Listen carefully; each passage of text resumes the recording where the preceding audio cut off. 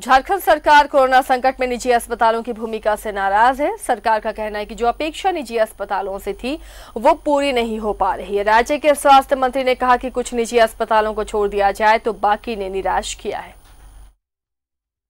निजी अस्पतालों की भूमिका बहुत उचित नहीं रही है। निजी अस्पताल कहीं ना कहीं हम लोगों को राज्य के साथ जिस शपथ के साथ और जिस विश्वसनीयता के साथ राज्य सरकार ने निजी अस्पतालों को सहयोग दिया और उनके साथ जो है दोस्ताना और व्यवहारिक संबंध बनाया, लेकिन इस संकट की घड़ी में उन लोगों ने कहीं ना कहीं हाथ को खींचा है। कुछ लोगों को छोड़कर ज़्यादातर लोग जो है हाथ को खींचे, खींच लिए हैं और जो हमारे सरकारी संस्थान हैं, वही संस्थानों ने आगे बढ़कर जो है इस विपदा की घड़ी में हम और वो मिलकर जो है एक दूसरे का सहारा बने हैं।